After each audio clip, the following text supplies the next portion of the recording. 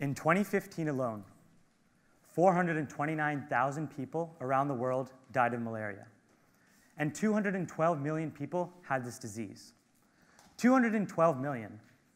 That's more than three times the entire population of France. Now, take a moment to think of the hundreds of thousands of others who died that same year from a number of other infectious diseases.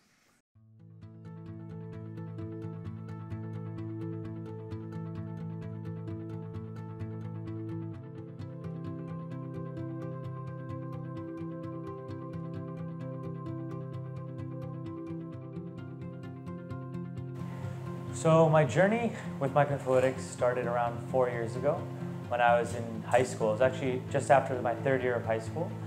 And the summer before, I was working in a leishmaniasis lab at the FDA. And leishmaniasis is an infectious disease caused by a parasite. And I was curious as to how we can detect parasites in the bloodstream at very, very, very low levels at a very early stage.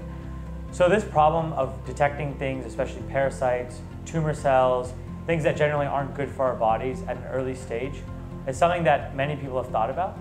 So I was doing some research, and because I wanted to go to Harvard, I looked specifically at Harvard labs, and I found a professor working with drop-based microfluidics. Um, his name is Professor David Weitz. And microfluidics um, is a, sort of a technology that allows you to encapsulate cells from the blood and therefore detect cancer cells or parasites or whatever you're sort of looking for at an early stage from the bloodstream.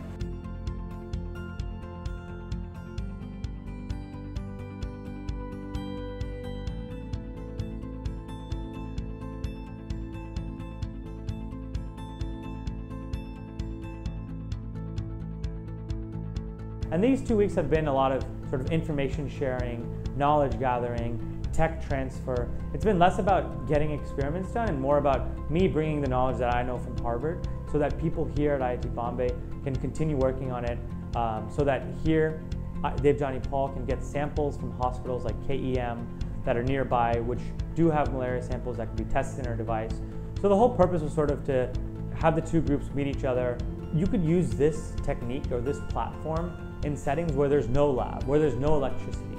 In even a small health outpost, all you would need to do is take someone's blood, mix it with a bunch of different reagents, which is a very short process, pipette it into the device, put it on a hot plate, which could be battery powered, or even in the heat of the sun in a number of cases. And then image it with a mobile phone camera, or there are a number of other techniques like a Foldscope, which is a cheap microscope, to be able to quantify how much disease that patient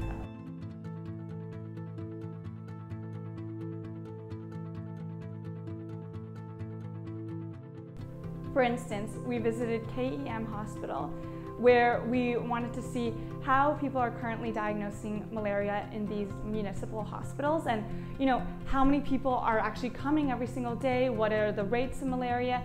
And i think that was a very important visit because until then we didn't actually realize how people were mm, uh, diagnosing malaria at the time, what the technicians were doing, the exact techniques they were using, how long it was taking, and what the hospital workers themselves thought were, was important for them to see. So I think that often, especially coming from the US or from any developed nations, you come in with a sort of savior complex. You come in with this idea that I know what the issue is, I know how to solve it, and this is where, uh, where I need to fix it. But I think what is so important about this visit is that we don't simply assume we know what is happening, but we actually try to learn from others who are actually living in zones that might have malaria.